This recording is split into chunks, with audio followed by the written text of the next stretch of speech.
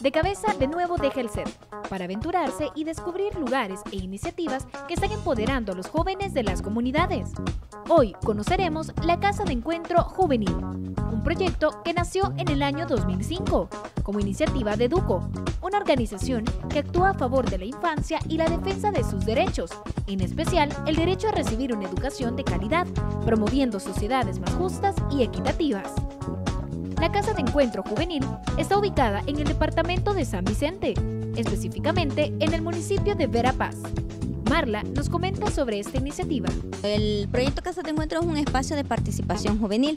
Eh, resulta a raíz de un diagnóstico que se hizo en el 2012, en donde se evidenció que no habían espacios de participación para jóvenes. Entonces, a raíz de eso, se hizo una propuesta como Educo a la municipalidad de establecer un convenio de cooperación y poder abrir este espacio de participación para los jóvenes. Niños, jóvenes y adultos se benefician con este proyecto, ya que muchos de ellos no cuentan con recursos que les facilite su desarrollo. Es por ello que Educo, en convenio con la Alcaldía Municipal de Verapaz, sacan adelante y con mucho entusiasmo sostienen la Casa de Encuentro Juvenil. Un proyecto muy exitoso en el cual eh, estamos satisfechos y la proyección de este de este centro queremos ir llevarlo más allá. Ahorita funcionamos provisionalmente, queremos hacer ya una casa formal, un edificio formal donde podamos ofrecer más espacios, más capacitaciones, donde los jóvenes puedan tener un espacio importante. Beatriz Palacios es la presidenta de ASJUVE. Con tan solo 18 años de edad, ella es un ejemplo para muchos jóvenes. Para ella, que los jóvenes se organicen es de mucha importancia, debido a que desde los 15 años ya pertenecía a diversas organizaciones que velan por el desarrollo juvenil.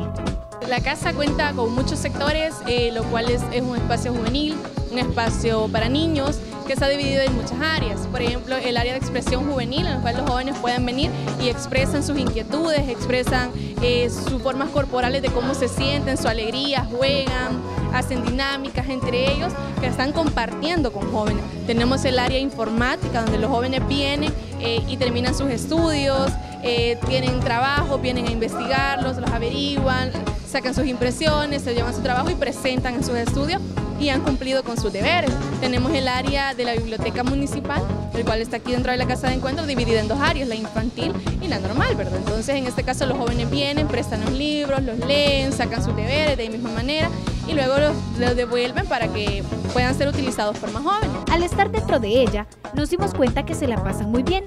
Conocimos a chicos que practican breakdance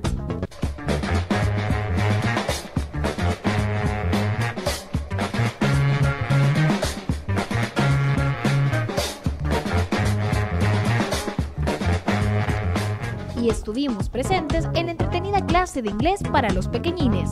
Lo mejor de todo es que las diferentes actividades impartidas son de manera gratuita. Una iniciativa que empodera a los jóvenes y construye un futuro más digno para nuestro país.